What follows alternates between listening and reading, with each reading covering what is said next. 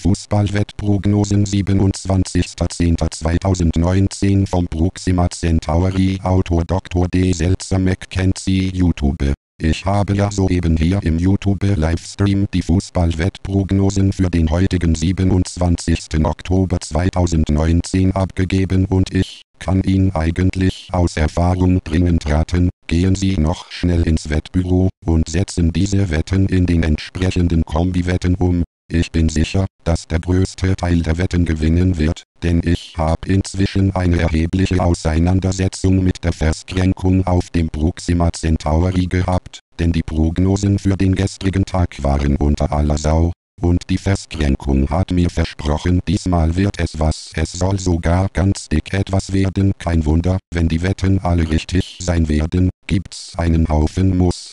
Zu der Verskränkung möchte ich noch sagen, darüber können Sie einiges lesen, müssten aber sich eben ein von mir veröffentlichtes Buch für 9,80 Euro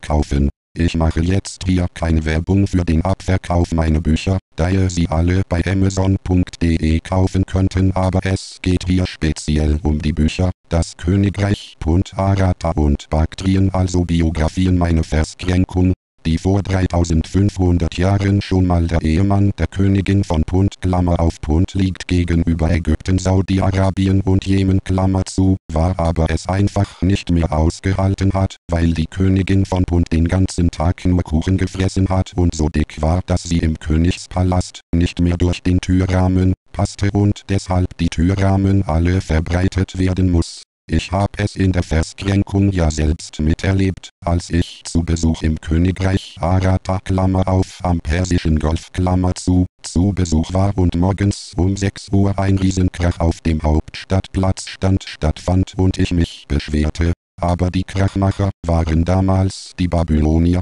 die in Arata eingefallen waren und unseren König von Arata kurzerhand in den Persischen Golf geworfen haben obwohl er nicht schwimmen konnte und dort leider ertrunken ist. Ich bin damals nach Baktrien, Klammer auf heute Nordafghanistan, Klammer zu, geflohen und war somit in Sicherheit. Aber das ist ja nur alles Vergangenheit und schon fast 3500 Jahre her.